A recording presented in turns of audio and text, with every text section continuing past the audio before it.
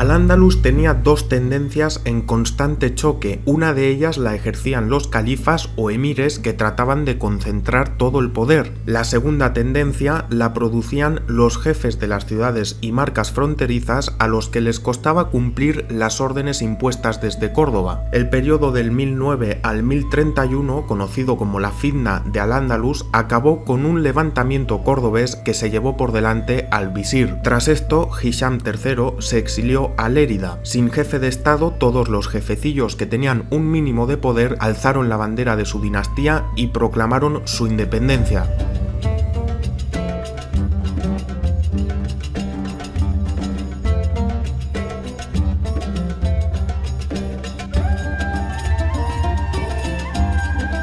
El califato de Córdoba dio paso a unos pequeños reinos. El término con el que se llamó a estos reinos fue Muluk al-Tawaif. Muluk significa rey, Tawaif serían grupos o facciones y el singular de Tawaif sería Taifa. Cada uno de estos microestados se identificaba con una familia, clan o dinastía y desde el primer día comenzaron a competir entre ellos, por lo que las fronteras eran muy volátiles. Las taifas se podrían agrupar en cuatro grupos. Las árabes estaban en torno a Sevilla, Córdoba, Murcia y Zaragoza. En Sevilla tomaron el control los abadíes. La ciudad se había convertido en la más importante de la zona tras el saqueo de Córdoba, por lo que comenzaron a expandirse rápidamente. En Zaragoza tomaron el poder los tuyibíes, una dinastía de origen yemení que durante la conquista se asentaron en la ciudad y reinaron la taifa de Zaragoza hasta el 1039, cuando un golpe de estado puso en el trono a los judíes. En Valencia y Denia aparecieron dos taifas encabezadas por mercenarios eslavos de la Sacaliba, pero al ser eunucos no pudieron tener descendencia. En el centro de la península encontramos las taifas bereberes de Badajoz, Toledo y Albarracín. Badajoz en un principio estaba controlada por un general de la Sacaliba. A su muerte tomó el control Bin al-Aftas. En Toledo tomó el poder la dinastía Banu Dilnun, que eran de la tribu Jawara. Sus vecinos los Banu Racin dieron nombre a Albarracín. En el sur, en encontramos las nuevas taifas bereberes que durante el reinado de Al-Mansur se establecieron en la zona y tras la caída del califato establecieron las taifas de Málaga, Almería y la más importante, la Granada de los Ciríes. Algunos años antes, Almanzor era capaz de construir grandes ejércitos para luchar contra los cristianos, pero ahora las taifas no lograban fuerzas ni siquiera comparables, y los cristianos aprovecharon esto, comenzaron a cobrarles un tributo a cambio de no atacar